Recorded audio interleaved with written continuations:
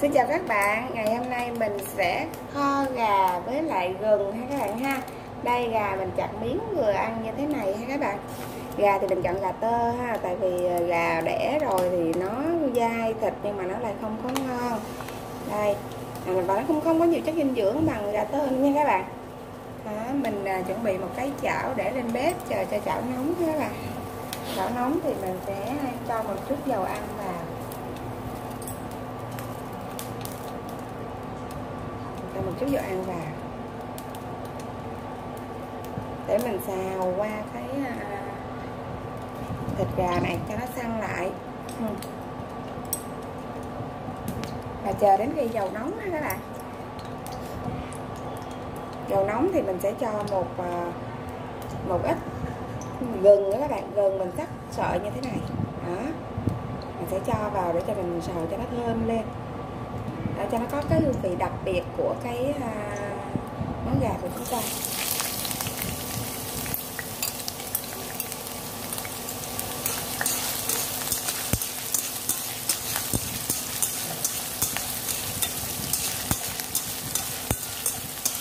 Thơm quá trời luôn các bạn. Nước gà kho thế này. Mùa này thì à, dịch covid đó các bạn cho nên là à, thịt heo rất là mắc. Và nhà bạn thường hay sử dụng những cái món ăn từ gà. Nó vừa ngon và là cũng rẻ nữa các bạn.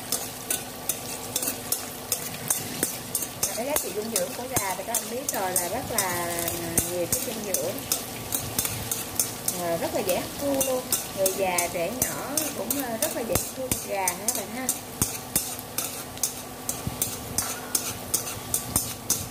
Rồi khi mà gừng đã thơm thì cà thơm như thế này các bạn, nhìn thấy không? Rất là thơm rồi. Thì mình cũng không để cho khét thôi các bạn ha.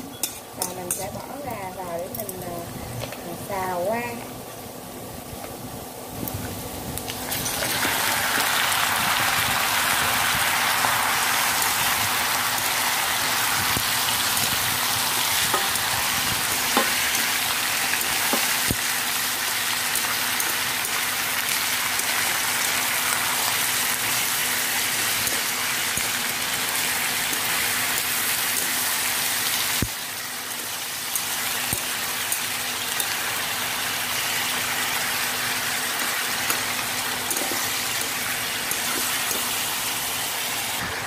Rồi khi mà mình cảm thấy là thịt gà nó đã săn lại rồi đó là thì mình sẽ cho mình chút xíu nước vào ha.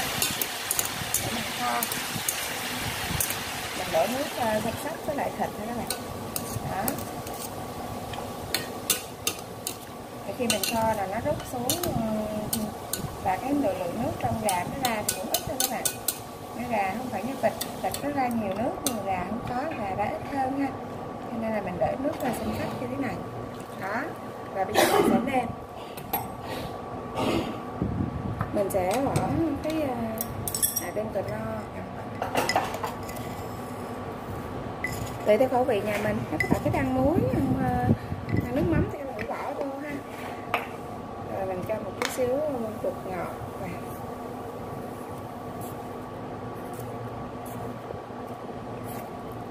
Và một cái ờ, rất đặc biệt mà mình hay thường sử dụng đó các bạn đó là mình sẽ cho một chút xíu bột và cà ri nậy vào khi mà mình kho gà. Ha à, có một số bạn khi kho thì có thể bỏ nước màu à, rồi một số bạn có thể bỏ bột nghệ hoặc là sa tế gì đó. Nhưng mà nhà mình đó thì nhà mình à, thích dùng cái bột cà ri nậy này hơn các bạn.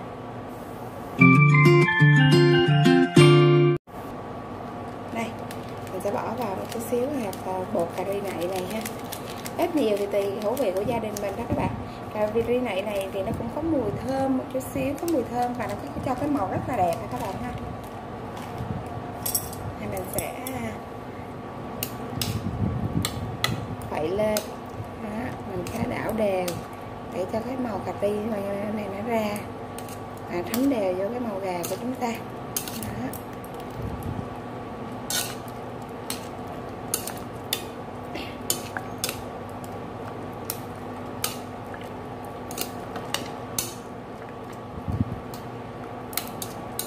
Ờ, nếu mà thích nhiều hơn xíu nữa thì các bạn có thể bỏ đậm hơn chút xíu.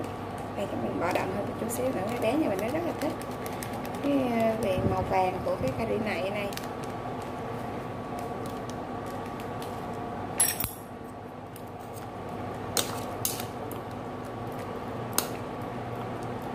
Đó rồi bây giờ mình sẽ đậy nắp lại để cho cái món kho của mình nó mềm ha các bạn ha và nó thấm gia vị vào đây ha.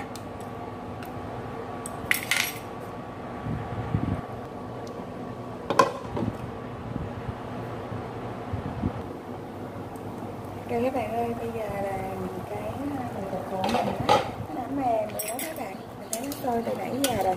Các bạn thấy cái màu của nó không? Rất là đẹp. Đây cái màu của cái da của cái gà. Rất là đẹp luôn các bạn. Đó. Và cái nước á thì nó cũng sệt sệt lại rồi các bạn. Cái nước nó cũng là nó muốn sệt sệt lại luôn nè. Đó. Rồi à, như vậy là cái món gà của mình đã xong rồi đó. Mình à, sẽ nêm nếm lại nêm nếm gia vị lại các bạn. À, và bỏ thêm một chút xíu nước mắm nữa cho nó dậy mùi lên ha. Đó. Như vậy là cái món của mình đã xong rồi đó các bạn. À, các bạn thấy thích thì các bạn hãy à, nhấn like giúp mình và đăng ký kênh để xem những video mới của mình nữa nha. Xin chào và hẹn gặp lại các bạn trong những video lần sau.